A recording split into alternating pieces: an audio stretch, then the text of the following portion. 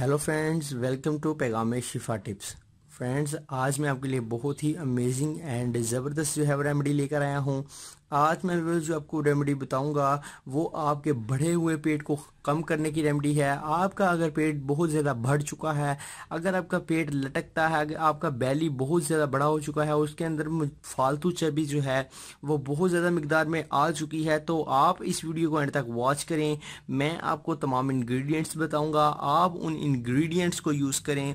اس T کو بنا لیں جو آج میں آپ کو اس ویڈیو میں بنانا سکھاؤں گا۔ اس ٹی کو یوز کر کے اس ٹی کو اپنے نیم گرم پینا ہے اور چسکی لگا کر پینا ہے تو اس سے جو ہے آپ کا جو بیلی ہے وہ جو ہے وہ ریموو ہونا شروع ہو جائے گا۔ آپ نے اس ٹی کو متواتر جو ہے وہ ون ویک جو ہے ضرور یوز کرنا ہے۔ اور ون ویک کے بعد آپ کا جو بیلی ہے وہ کم ہونا شروع ہو جائے گا اور آپ کو جو ہے فرق جو ہے واضح ہونا شروع ہو جائے گا۔ تو ویور سے چلیے، شروع کرتے ہیں آپ کو میں تمام انگریڈینٹس اس ویڈیو میں جو ہے وہ کلیئر کر دیتا ہوں۔ آپ اس کو بنا لیں اور اس ٹی کو بنا کر آپ یوز کریں تو آپ جو ہے ایزیلی طور پر اپنے موٹاپے کو ختم کر سکتے ہیں۔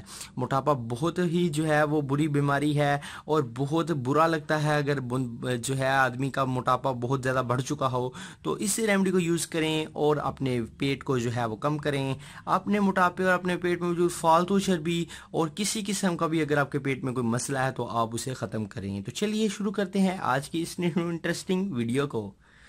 For every types of videos please subscribe to my channel Paigham Shifa tips and also click this bell icon for new updates thank you تو اس کے لیے ویورز آپ کو سب سے پہلے کیا کرنا ہوگا، سب سے پہلے تو آپ نے ٹی بنانی ہے اور ٹی بنانے کا طریقہ کار میں آپ کو بتا دیتا ہوں۔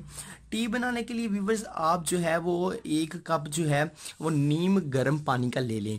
آپ جو ہے پانی کو نیم گرم کر لیں اور ایک کپ میں جو ہے پانی کو ڈال لیں۔ اس کے بعد ویورز آپ نے کیا کرنا ہے؟ اس میں جو ہے وہ ایک جو ہے وہ چائے کا چمچ جو ہے آپ نے کلونجی جو ہے وہ ایڈ کر لینی ہے۔ کلونجی ویورز بہت ہی زبردست ہے اور موت کے سوا ہر مرض کا جو ہے وہ علاج ہے کلونجی میں۔ تو کلونجی آپ کے لیے بہت ہی فائدہ مند ہے۔ آپ کے ویٹ کو لوز کرنے کے لیے یہ بہت ہی زیادہ جو ہے مفید ثابت ہونے والی ہے۔ کلونجی کا استعمال پیٹ کو کم کرنے کے لیے اور پیٹ کے اندر فالو چربی کو ختم کرنے کے لیے بھی کیا جاتا ہے۔ اس کے علاوہ ویورز اس کے ساتھ ساتھ آپ کو جو دوسرے نمبر پر چیز اس میں ایڈ کرنی ہوگی، وہ ہے کالی مرچ جو ہے اس کا صفوف۔ کالی مرچ آپ کو کسی بھی شاپ سے، کسی بھی کریانے والی دکان سے جو ہے ایزیلی مل جائے گی۔ آپ نے اس کو لے لینا ہے۔ اگر آپ کو صفوف نہیں ملتا تو آپ اسے باریک پیس لیں۔ اگر آپ کو جو ہے ویورز اگر آپ کو دکان سے صفوف ہی مل جائے، اگر آپ کو پسی ہوئی ہی مل جائے تو وہ تو بہت ہی اچھا ہے۔ اور آپ کالی مرچ کا جو صفوف ہے پاؤڈر ہے، اس کو آپ تھوڑا سا ایک چائے کا چمچ اس میں ایڈ کر لیں۔ اس کے بعد جو ہے ویورز، آپ نے جو تھرڈ نمبر پر چیز کو ایڈ کرنا ہے، وہ تو بہت ہی زبردست ہے اور وہ ہے ہنی۔ ہنی جو ہے مرحبا کا بہت ہی اچھا ہے۔ تو مرحبا کا اگر آپ ہنی لے لیں تو اس کو بھی آپ نے ایک ٹیبل اسپون اس میں ایڈ کر کے اچھی طرح سے اسے مکس کر لینا ہے۔ اس کے بعد اگر آپ چاہیں تو اس میں لیمن کا رس جو ہے ایڈ کر سکتے ہیں۔ یہ فیٹ کٹر ڈرنک کے طور پر بہت زیادہ یوز ہوتا ہے۔